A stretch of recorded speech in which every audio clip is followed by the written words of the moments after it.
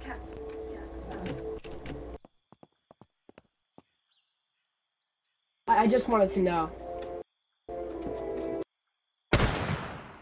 Like, for like around 70 plants, how much would I get?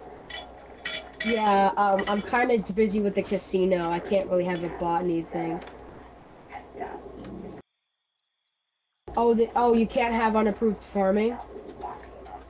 Oh, dang, how much for that? I'm so sorry. Is it like a fine, or...?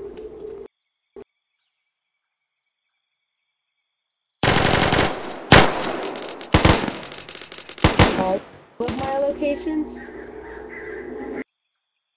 Okay, don't worry about that.